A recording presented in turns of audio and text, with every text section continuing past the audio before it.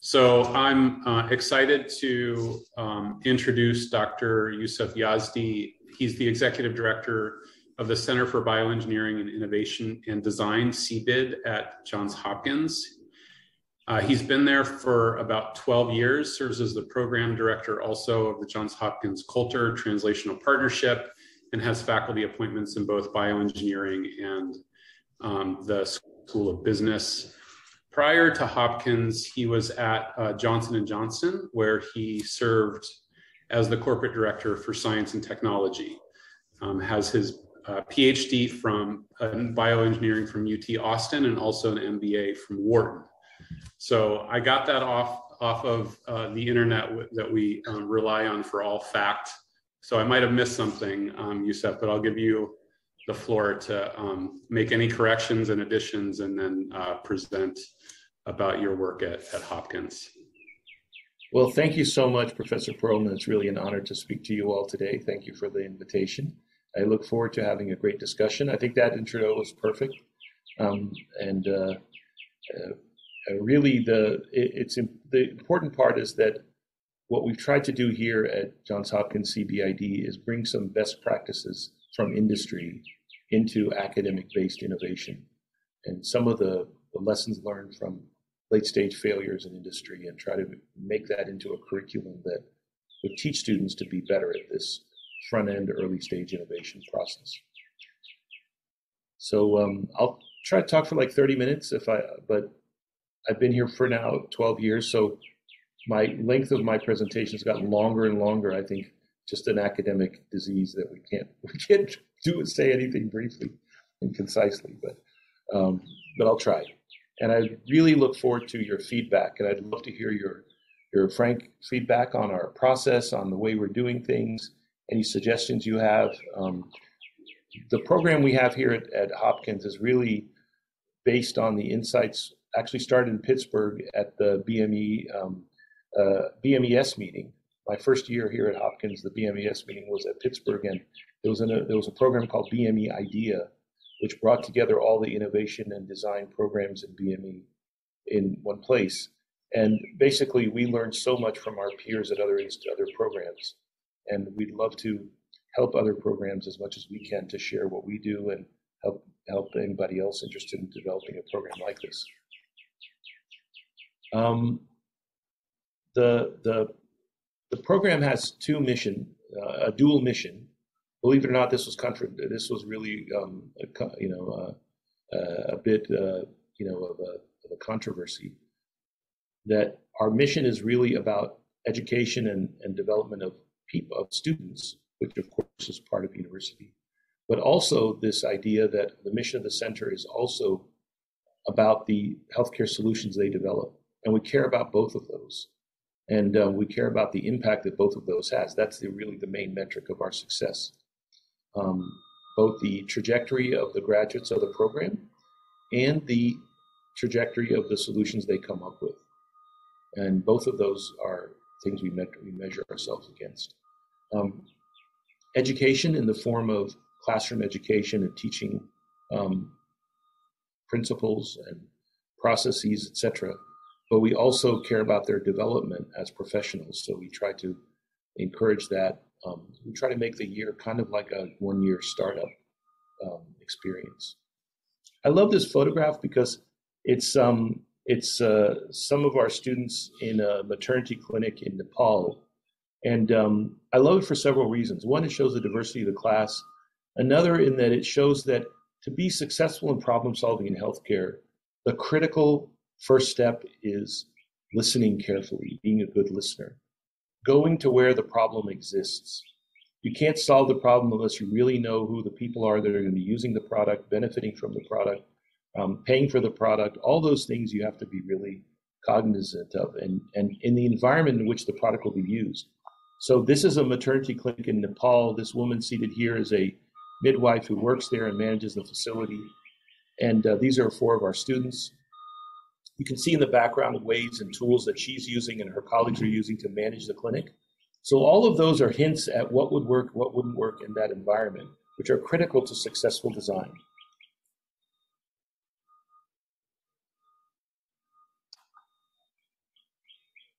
so in our definition that we're using, to design something is to create a good solution to, to a problem. So my first job at J&J was at Ethicon Endosurgery in Cincinnati, and we designed things like this. This is a, a cutter stapler for, for, um, for usually used for lap chole and other abdominal surgeries. And, um, and it's an amazing device. It, it allows a doctor to, a surgeon to take out your gallbladder through tiny incisions as opposed to huge incisions. It's very effective. It also looks really nice too. I mean, it's an attractive piece of hardware, but um, but that was not the objective. It's really functional. Um, now things can look really cool, but actually be really lousy design. And I apologize if any of you have one of these you purchased for sixty dollars at Williams Sonoma, but it's a fruit juicer, but it's like the worst fruit juicer in the world. If you, like you'll have fruit juice all over your countertop if you try to use this. Um, but it looks really cool. You got to admit but it's not a good solution to the problem. And poor design could be not functional, not effective, not safe, not usable, or not affordable, or not buildable in the sense of it's not designed to be manufacturable on a large large scale, or not sustainable. Increasingly, this is a big deal, especially European um, Union has instituted some regulations saying medical devices have to, you know, especially disposables, they have to figure out a way to minimize that that whole um, uh, sustainability aspect of their products. Or it's not, or it's just not better than what's already out there. The bottom line is it's not bringing real value to other people, and it's not a good use of our time and our creativity. It's really a travesty. So it's so those are things we want to avoid. Good design, on the other hand, are these are pictures from projects that CBID students have done over the years.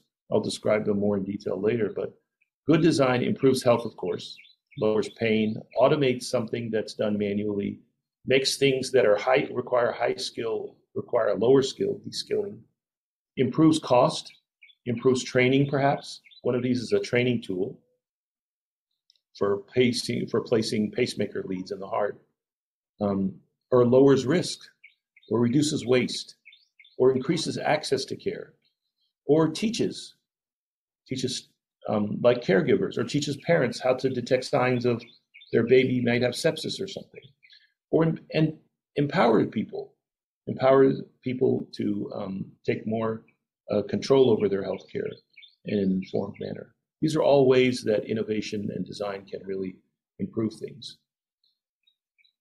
You know, Paul Yock has this great quote that I love. He's the head of Stanford's biodesign program and founder of the program, and a great mentor for our program. He said the unsung hero of innovation is choosing the right problem to solve. And, um, and the, the, these problems could be in diagnosis, in planning, in providing the care needed, in maintaining care over time. There's many other aspects of care besides the acute, the cool phase when the surgery is happening or the care is delivered, you know, before and after that phase that are really impactful in care. And, and um, over the course of the year, our students spend one third of their time just defining what the problem is that they're going to be addressing.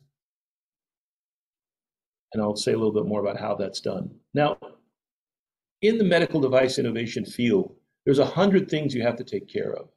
It's like boiling the ocean. And there's just, it's too much for a startup almost, unless you have million, tens of millions of dollars thrown at you.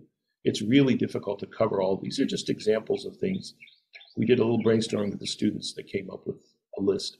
There's just a hundred things you have to think about, and, um, and the question is, how can you do that? Especially, how can you do it if you're not funded like a like a J and J R and D team or like a like a you know a, a, a well-funded uh, new venture?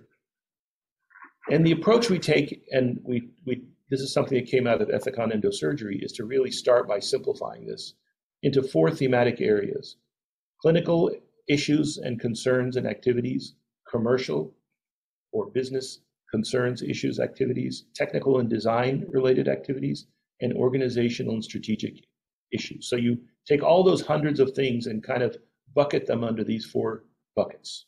That's step one. Then the question is, where are you going to start and how much time should you spend on each? So typically in academia, this is like my story of my PhD, my advisor at UT Austin said, um, Youseph, you can work on whatever the hell you want to work on, but it better end up using a laser as the solution. So we spent a lot of time working on laser based spectroscopy based techniques for diagnosing disease. And, um, and typically, we in nerdy engineers spend a lot of time on the technical side and neglect these other three quadrants. And what happened, for example, in my story, PhD is that I developed a technique for for um, or we in the lab developed a technique for that could possibly replace the Pap smear with a 90 plus sensitivity and specificity versus the Pap smear now, which is like 70 or 60 plus. It's not that big, not that good. Um, but it required this $100,000 UV laser and three technicians to actually work. And um, guess what? We were successful technically, but it was a failure in all other aspects. It never helped anybody, never saved anybody's lives. In the corner of the clinic at MD Anderson, where we we're doing our work, there was a box that someone had developed, and it was all it did was make take this the cervical sample and make a stamp it like a French press onto a little microscope slide to make a nice thin monolayer of cells to make it easier to read the slide. It didn't disrupt the way the pathologists handled the slide. It didn't cost much more than the existing cost structure. And 90% of pap smears today use that device it's called the ThinPrep. It's an amazing device. Saves saves a lot of lives. Huge financial gain, big success. I think the company was acquired for three hundred million dollars, um, whereas our laser thing didn't go anywhere. So of course that approach doesn't is not a wise approach. The approach for like the Stanford Biodesign program, which is a much wiser approach, is to first understand the clinical problem and all the parameters and constraints imposed by the clinical reality. Once you've understood that, then design your solution. And once you have that designed, then design a method to take it to market and, and get it to market and then put together a team. So you kind of follow this linear pathway here. Um, this is a much more intelligent and mature way to do things. But there is inherent a little bit of a of a of a of a of a, an arrogance here, and that is you're assuming that at this point you've understood the clinical problem completely, and then you design a solution. But that's not really true. I mean, at at at J and J, we had like we, we would talk to a lot of folks up at Cleveland Clinic, and and they would come down. Some KOL would come down and say, "I really need X," and we do interviews with the KOLs, and then we would spend millions of dollars and build a prototype, show to this guy, and he would say, "Oh, you know, now that I see it, I don't really need that. That's not really what I need. I need this." So you can't assume you, even if you try, you can't assume you fully understood the problem until you try to solve the problem. It's kind of like hiking in the mountains where you can see the 10 steps ahead of you, but not farther. And, but until you take those 10 steps, you're not going to see the next 10 steps. So you really need to take an, uh, a different approach and not assume that you fully understood the problem before you try to solve it. So an iterative approach makes a lot more sense.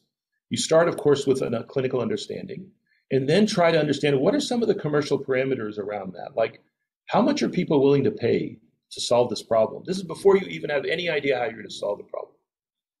And what sort of risk profile would start to pop up, you know, in solving this problem before you even know how to solve it? And then, based on those constraints, you start to do some initial thinking about how to solve it, some brainstorming, etc. And then you try to put together a team and resources that make sense to solve the problem. But then you go back with your initial brainstorming ideas to the clinic and, and get some more refinement on that, and it's a, you just keep going. So that's the approach we take. So think of it as a space, a two dimensional space that you must fill out, where the center is time zero and dollar zero. And the farther you go out, you're spending more time and money on this issue. And you eventually have to fill up the whole space to cover all those hundreds of different topics. But what approach can you take if you're in a frugal manner that doesn't require a $10 million, $20 million investment in a startup. And the approach we take is this, is that you, you do a little bit in each of these. And then you stop and you see, does this make sense? And you look at hundreds of needs, all sorts of things, and you, you do that for, you do that kind of assessment for a lot of different needs. On the clinical side, you say, does this problem really causing significant harm to patients? Does the intuition of doctors tell you that this should be solvable? Are the existing solutions failing or inadequate? Like how much are people willing to pay to solve the problem on the commercial side, etc. So you have four-fold filter for each of the needs, just in picking which of the needs you're going to solve, and make sure it's a worthy problem to solve from all four of these perspectives. And of course, in real life, our teams go through a really detailed um, analysis under each of the four clinical, business, technical, strategic. They define all the some sub factors within each of those. They define a scale from negative one to five for each of those factors, and then they judge different. Like these are six different needs, and they assess the needs based on these different factors. So this is before there's any solution being discussed at all. And then the key is that for each of the needs, you make sure that it makes sense from all these perspectives. And it could make sense from, it could be fantastic, like my PhD project, from a technical perspective and from a clinical perspective, but not make sense at all from a commercial perspective or organizationally may not make sense. And you'll have maybe a lot of these, and then you'll filter them down and choose the ones that make sense from all these perspectives. And then once those top needs are chosen, then you subdivide the overall need into sub needs. Like, um, just pick a, an example, like a, a, chair does multiple things. And each of those things the chair does for you, um, you, you can break that down as a separate sub need and a separate brainstorming around how to solve that. And then looking at your solutions, you can also do the same. You can assess each of those solutions and you can break it down. We, we go through a very intricate process here, but you don't need to do it conceptually. The key is just that when you're assessing your solutions, you also use a similar rubric to assess them. And that you make sure the, the solutions that you're choosing, you filter them based on a filter like this. And again, you'd have um, many of these solutions. Some will make sense from some perspectives and not, and from others. You may combine solutions that make sense from some and others, and then into your ideal solution that makes sense from all four perspectives. And of course, when we're talking about solutions, it doesn't have to be necessarily a new device or tool or gadget. I would say when we started in 2009, 2010 academic year, um, we were really focused on gadgets and devices. But since then, our eyes have been opened that there's all sorts of ways to. We try to be a little bit more open minded and say, we're not wedded to proving how great of an engineer we are, how great engineers we are. We're not wedded to making money. We're not wedded to to um, showing off our technical skills. We're just really passionate about solving the problem and helping the people suffering from that problem. And once you take that perspective, then your eyes are open to a lot of different ways to help solve the problem, including apps and even educational programs. Like one of our teams their their solution there was a design of a board game for midwives to learn how to make a decision about whether the patient should go for a C-section or go for a regular delivery in a quick in a in a clinic, um, or it could be a new step-by-step process. And it doesn't have to be new, as in totally new. It could just be using or modifying an existing app or solution for something else or combining these. Again, the goal is not to to prove your technical chops. The goal is to um, is to solve the problem. So that's the approach. Is this iterative approach as you build out, building on previous um, efforts. So, for example, if one of these pizza slices, let's take this one right here, is regulatory issues. The first instance, the team, you're not going to go whole hog in the first iteration and hire a regulatory expert and spend days and days assessing this when it's just an early prototype that's going to change a lot by the time you get to any sort of regulatory submission. The key is you understand early on this little area under the curve here, which is like how do regulators look at new solutions? They look at it from a risk based approach, and you teach them how to assess the risks. The second iteration in our program, students talk to regulatory consultants for maybe an hour each team. The third iteration, the team actually does a mock pre-sub down at the FDA. And we have a law firm here that reviews like, like a full review of their submission, their pre-sub submission. So gradually over time, the area under the curve is increasing and it's building on the previous knowledge. For example, the first iteration on the clinical side, the, the students may talk to one or two clinicians, and then they'll do like an I-Corps thing where they'll interview a bunch of people, clinicians, and other caregivers, healthcare professionals in that field. And then in the in the broader iteration, they'll start to do like some clinical studies, etc. On the design and prototyping and organization may start out with a small team, gradually build out an advisory committee, gradually bring on others, and etc. Small grants that the center provides, then going to awards and investment, leading to like a like you know grants and other investment in the, in the team. So that's the gist of it. It's not something really that profound. The idea is that when student asks you, like, when should I think of, when should I start thinking about regulatory affairs? My answer is always now. When should I start thinking about reimbursement? The answer is now. When should I start thinking about IP? The answer is now. But the question, the but the question is not when. The question is to what depth. How do you put the do in due diligence? How do you make sure that you do an appropriate level of work on each of the important factors that could kill your project in the future if you neglect them to pay attention to them. But you don't go overboard in it. You do a little bit of work on all of these topics that's important. And then you stop and you assess. And if it makes sense, then you do a little bit more and a little bit more. By the way, we also do the same for global health innovation projects. These are some of the countries, these are all the countries that we've been to for our different projects. Um, and the, the, the purpose there was this. We, um, we felt like if we want to train leaders in medtech innovation, they have to know how to develop solutions that don't just work in the wealthy Johns Hopkins or, or University of Pittsburgh hospitals. They have to work everywhere in the world, in places where resources are lower, for multiple reasons. One, um, because our moral imperative is to provide more accessible care. Another is that for medtech industry, the double digit growth in our industry is in developing countries. And they can't afford the kind of things we develop for here. So they have to learn, they have to be designed to be inherently lower cost, more frugal solutions. So that's one reason why we incorporated this in the program. So each team of students works on a US or developed world project and then a global health or low cost LMIC kind of project and they do both. So here's some examples. Um, this one is a this one at the top. I don't know if you can see my cursor, but it's a um, it's a way to de-skill ultrasound.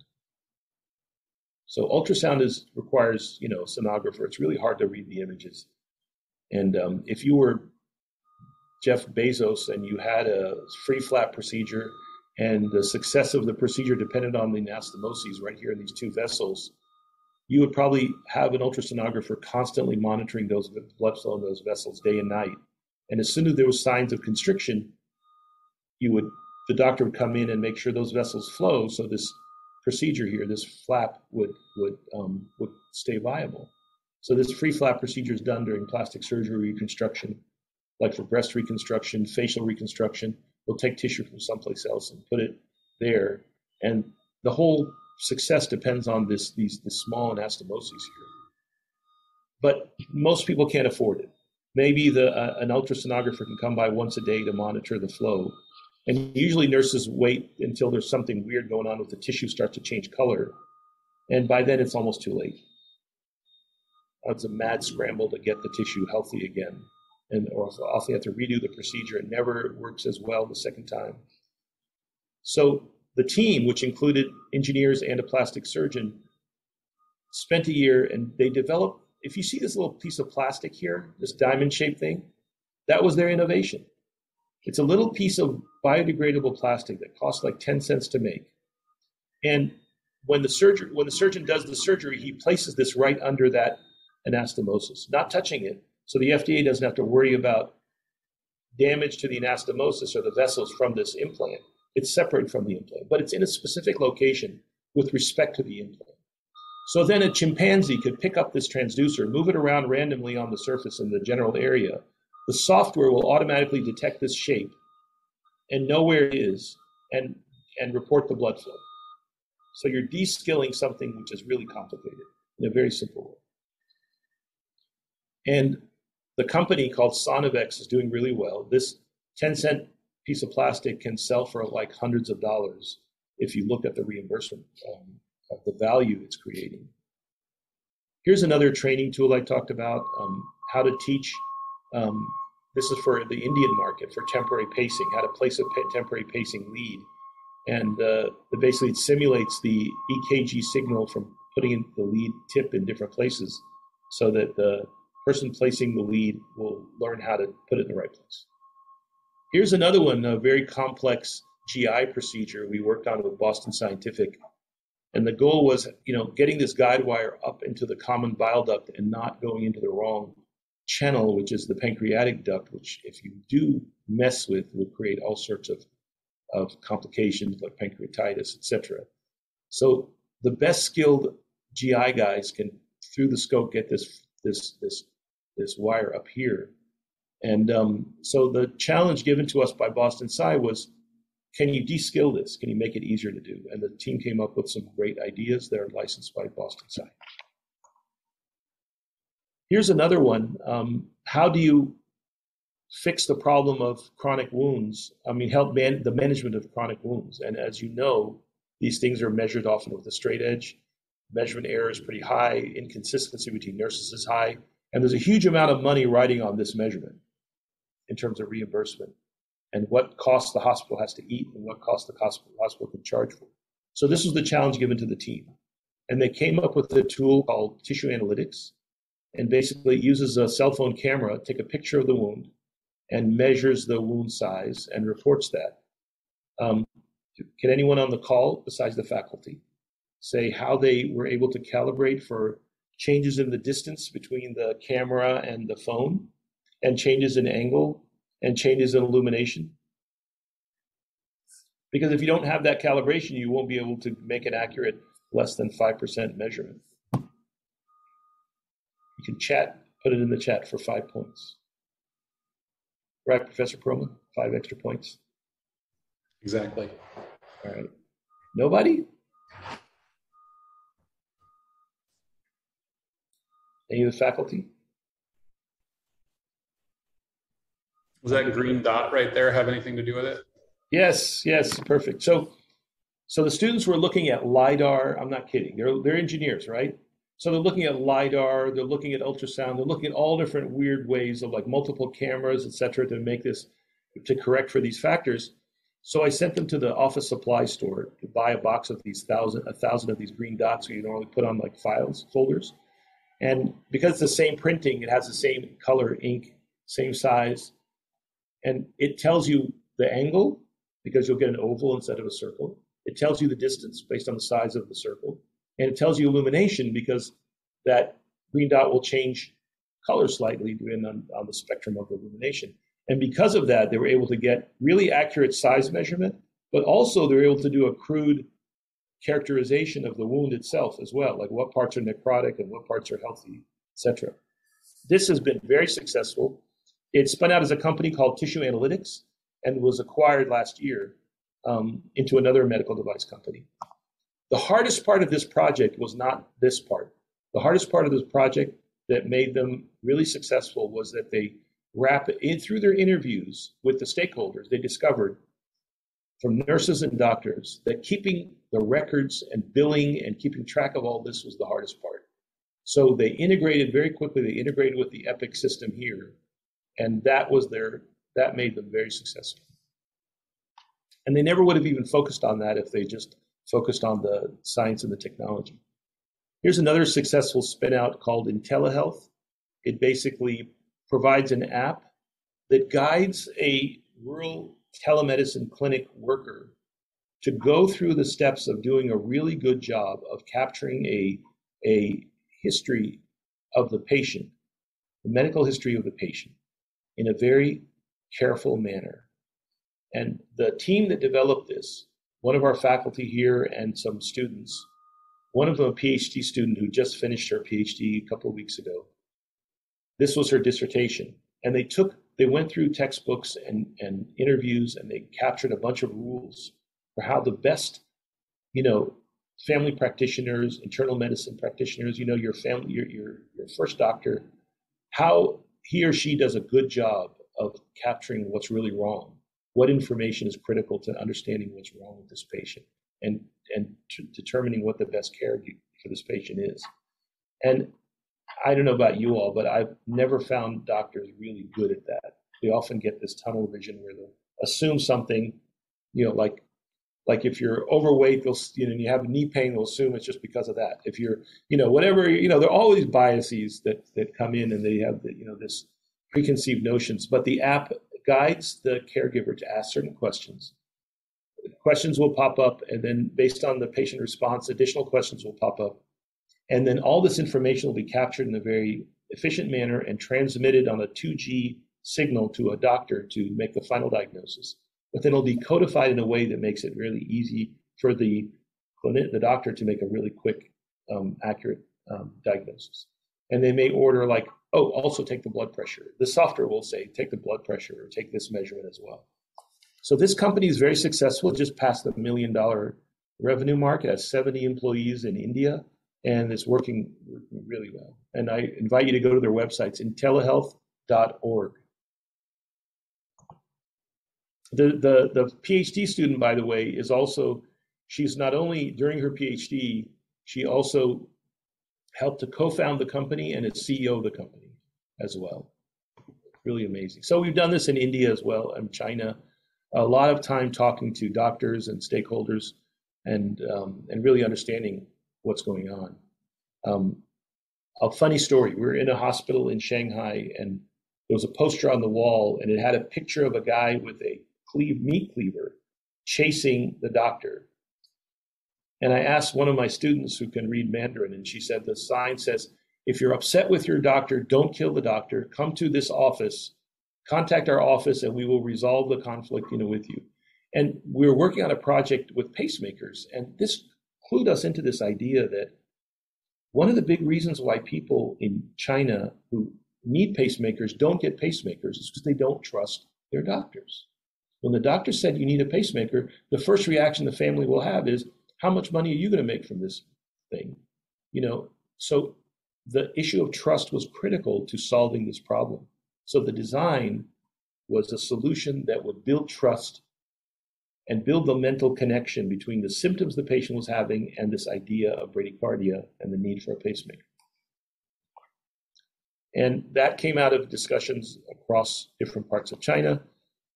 Sorry, I'll try to speed up. We've had several spinouts from from the, the program, doing fairly well. Overall, over 12 months, the program really is about one third um, really identifying between, let's say, June when the students arrive through the end of middle of the fall semester, really identifying that one target that they're going to go after. And they spend a lot of time in clinical immersion here at Hopkins and then immersion overseas for their global project, weekly meetings to discuss what they're seeing and refining it down to one need. The second third from let's say the winter all the way through the the the intersession and the beginning of the spring semester they look at a wide range of concepts and narrow down to one or two top solutions. They all start to put together their business plan. And then by the end of May, they have the, they fully fleshed out the, the, you know, not fully, but they've done that first, you know, couple of iterations in all four of those quadrants. They have a solid business plan. Um, they just came back from the Stu Clark business plan competition. They won second and third place in the elevator pitch competition. So they're they're doing pretty well on the business side as well. So that's the gist of the program. It's really a team based approach to go through all of these together as a team with students and clinicians and faculty working together. I'll stop there. I think I'm a little bit over the 30 minute mark.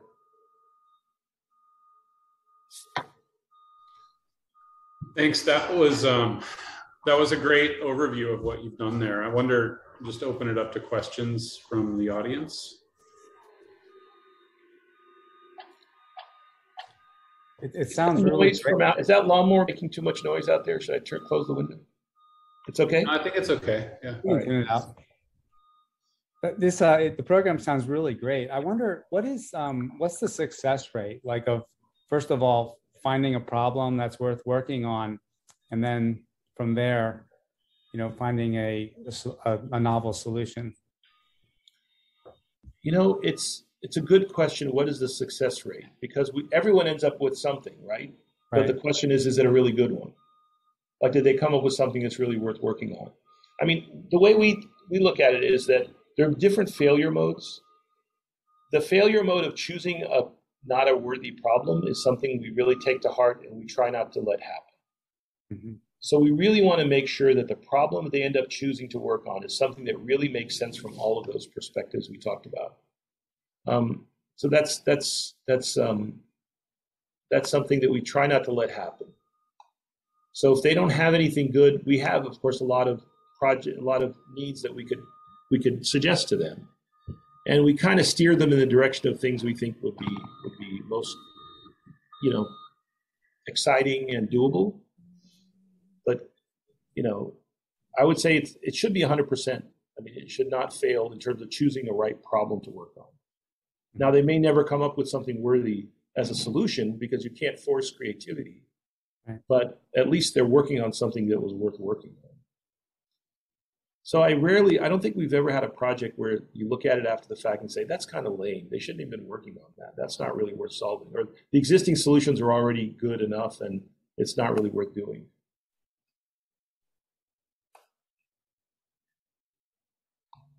Do you ever find that you don't have the right team members with the right knowledge and expertise?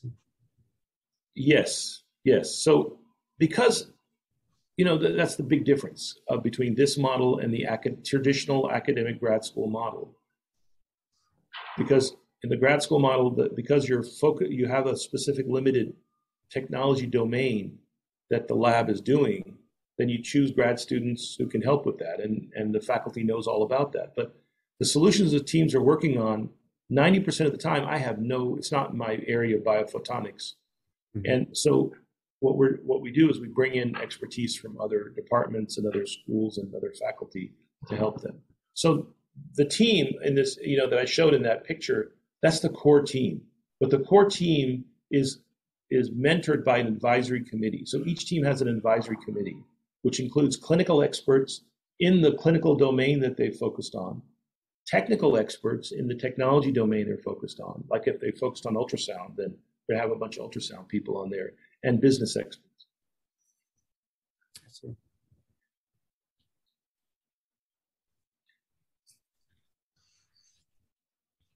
Other questions?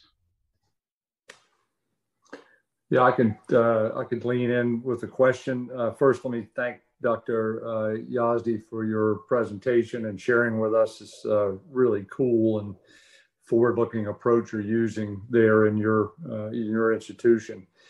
Um, how do you, you know, I'm I'm a regulatory lawyer uh, by training, and and I, you know, one of the functions I serve with the group that you're speaking with is just trying to stay on top of the regulatory changes. Uh, John's probably shared with you, we're doing a lot of work in home care, uh, which is just about as rapidly emerging regulatory regime around a uh, fast moving uh, area of the economy as, as you could imagine. So, how do you keep up with the regulatory changes over time and inform the teams?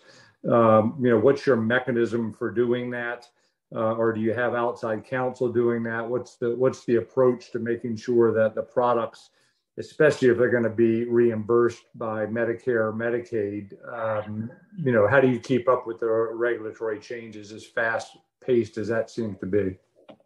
Well, that's a great question, and you're and the program is very fortunate to have you um, because the answer to the question is we can't. It can only be done, and this is not only true for regulatory affairs, but also for reimbursement and a hundred other topics. We can't be experts in any of that, and we shouldn't be pretending to be experts. And I shouldn't be giving a lecture on regulatory affairs. I should bring in someone like yourself, and which that's exactly what we do. We bring in experts who are normally consultants in regulatory affairs to come in. We, we're, we're about 40 minutes away from White Oak, where the FDA headquarters is. So a lot of our alums work there and we have some folks who can come up and volunteer their time to to provide some feedback on regulatory issues. They also allow us to do a mock like pre-sub meetings later in the spring. And we also have a company, a law firm here called Hogan Lovells, which you're familiar with. It does like the majority of, of, of um, more complex submissions in the US. And they pro bono every year provide like a couple of days worth of consulting time. So they'll go through each project, review their pre-sub submission, and um, and uh, and give feedback to the team on that. So we don't even pretend to try to keep up with that stuff. We bring in the guys who know it, who live and breathe it, and it's not just true for regulatory affairs, even for prototyping. Like I know how to build optical stuff from circa 1990, but I've been I haven't been out, I've been out of grad school for a long time. I probably wouldn't even know which end of the soldering iron is hot. Um, so it's really important to bring in the experts and let them be the advisors to the to the students. It's expensive, but it, it's, it's, it's, I think it's yeah. I like the alignment of interest because, as we know, the lawyers are not going to be doing that more than uh, likely out of the goodness of their hearts, but they probably see it as a business development opportunity as well. Yes, yes. Thanks very and it's much. Happened. And it's happened. Like the spinouts, like Lysent, once they hit like a few million dollars in in in, in investment, they hired Hogan Lovells to help them with their regulatory strategy. So it's hopefully a virtuous cycle. So, um, one question we have, and I think this is, you know, part of the reason that we we started the seminar is to get faculty um, more engaged in technology development and tech transfer. And so, I mean, you're you started in industry, and I think understand the value proposition. I think that academia has for industry and vice versa. And I wonder if you can sort of talk through that and how, for instance, you engage industry to help support and sponsor your, your tech development and vice versa, how you would sort of encourage faculty to get involved and engage industry to um, commercialize their products or even work on industry sponsored research. Yeah, great question, John. I, I mean, when I was at J and J headquarters, we tried to engage with academia. I would say ninety percent of the time, what faculty are working on is irrelevant to translation and commercialization. And when we would go to universities and say, wait a second, we have a list here of things that our customers and our doctors and nurses are desperately calling out for. And we wish you would focus on these problems and helping solve those problems because we can tell you if you solve them, there's an outstretched hand ready to license it in and develop it.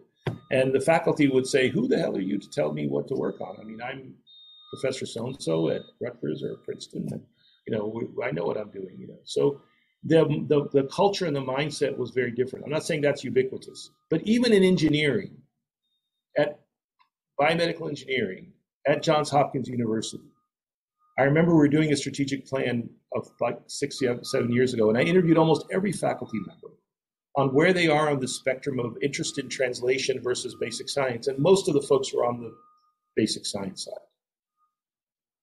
So the the proper approach starts with this notion that at least part of every faculty's portfolio should be something that's relevant to translation and commercialization. It doesn't have to be their main thing, but I think it's really beneficial. And something that Tom Skalak was telling me when we set up the Coulter program there at, in the University of Virginia was that having some dimension of your research, you know, portfolio as a faculty member that's focused on this translation and commercialization angle really helps your basic science work as well. It helps your grantsmanship for sure because you start to learn the language of, of, of this and, and vice versa. So I would say this first step is that academia needs to, there needs to be a shift in culture. Now, old organizations like yours and ours, it's kind of hard if you're successful to get a change in culture. There was a president at Hopkins who told one of our clinicians who was interested in commercialization that, listen, you're either on this side of the street or you're on that side of the street. You can't be in the middle of the street. You're either on the academic side or the commercial side. You know, you can't do both. And that was when I got here. But now the culture has shifted. Now there's enough success stories that more and more clinicians and more and more faculty are interested in doing this sort of activity. Second thing is you have to understand what the mindset of industry and what a what a manager like a VP of R&D what do they care about? What are they being held accountable for? I think that people at the VP and director level are often the most stressed out people in any corporation. They're under a lot of stress to deliver, and if you could help them, they would. They have they have plenty of money, but if you could help them, they will love you and they will fund you. but you have to be open minded and be able to follow your lead sometimes. So we do our projects usually have some remit for a team that's sponsored by a company. Like this one with Boston Sci, it was the GI division in Boston Sci came to us and said, "There's this complex procedure. If we can get more people to do the procedure, we can sell more of these products. But the project, the procedure is too complicated. Figure out a way to solve to reduce that complexity." That was very narrow, and we were a little bit hesitant to take it on because the question is, is there enough scope within that narrow domain for the students to do this process, this innovation process? And we decided also because Boston Sci is giving us some money that we're going to say yes. It's kind of hard to for academics to say no to money, but but um, so we said yes. Now, in some cases, like the Medtronic project, it was, I mean, it was from the CEO of Medtronic, Omar Ishrak. He said, I want you to go to India and find out why people who need pacemakers are not getting pacemakers. And don't tell me it's because they're too expensive. I already know that part of the story. And that's where all these projects, in fact, Intelehealth came out of that because there was a, it was determined that in these rural clinics, people who have conditions like bradycardia are not getting diagnosed until they waste a lot of time and money. And so you need an app to help people get that accurate diagnosis. So I would say being flexible and open-minded, sitting down with the with the corporate partners and asking them, what can we do to help you? And then seeing if you can find something that makes sense for you and your mission as an academic institution that overlaps with their mission as the steward of some money and resources in a corporation. Great, thanks. Other, other questions?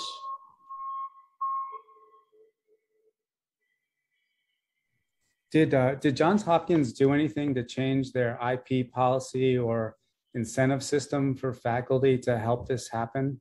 You know, work, being successful working with industry.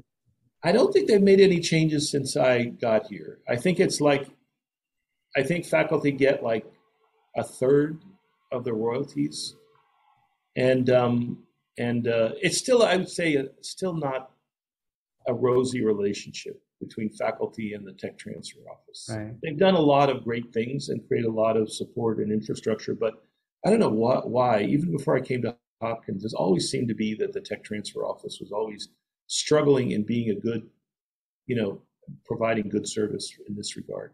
So I think faculty get like a third. At UT in, in, in Texas, I have some patents out of UT. It's 50% goes directly to the inventors. But here's like a third, and the lab gets some, and the, the department gets some, and the dean gets some, and the president's office gets some. It's like everyone, you know, there's a, you know, there's like all these outstretched hands ready to take a piece of the action. You know, it's not very good for innovation. But yeah, Pitt's wrestling with that right now. Yeah, I think it's short-sighted. I mean, the the value, reputational value to Pitt or Hopkins of having these spinouts, having these successful student, in, you know, you know, innovation or faculty innovation turning into companies and real products is just phenomenal. It's worth more than a few thousand here and a few thousand there in royalties.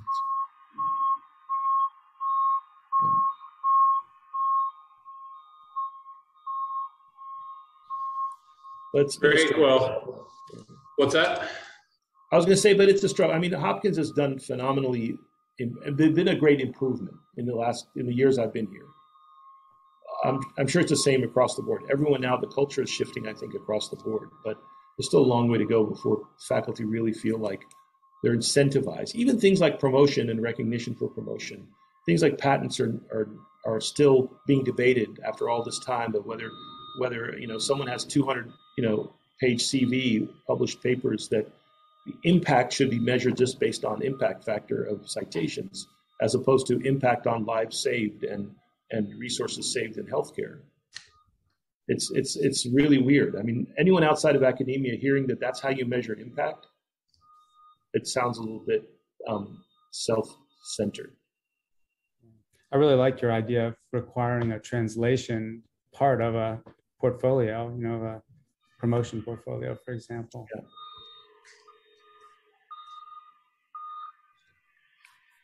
Any other final questions?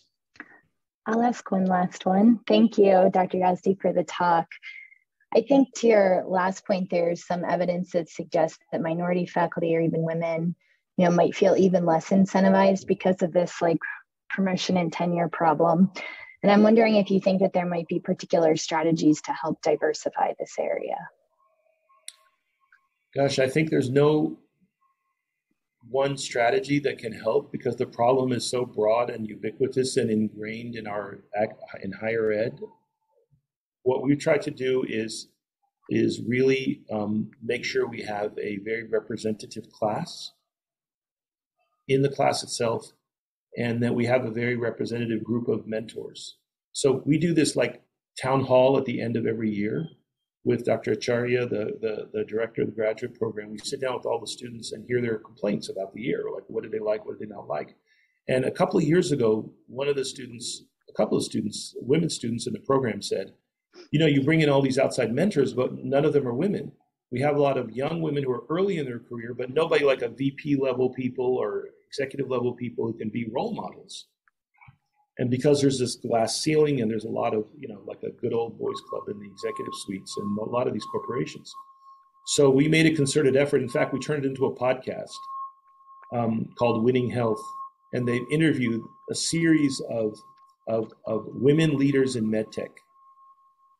And it's a fascinating discussion, really amazing stuff and advice to to women in getting into medtech and managing the corporate life and managing all these things that they're going to be facing. It's really a wonderful series and inspirational, I think, and providing some good role models. Same thing for your own candidates, etc. So we're trying, but I don't think there's an easy, like, quick solution to it. It's not just recruitment or this and that because um, if you recruit, for example, we, you know, I, I attended BMES. There was a session on Black women in, in biomedical engineering and the number one th- thing I learned from sitting in the back of that room and listening was that the sense of isolation that minority students have in the program. And it's really critical to deal with that. And it's really important. But I think in our field of work, which is about problem solving, if you don't have diversity, you don't have good design. It's just, you know, basic design. You need a diversity of opinions and perspectives and life experiences in order to have a, a good design. Otherwise, you're going to be narrow and it's going to fail.